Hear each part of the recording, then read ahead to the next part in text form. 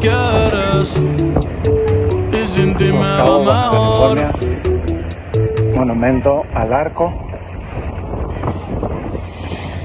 Y estamos en 15 de agosto del 2023.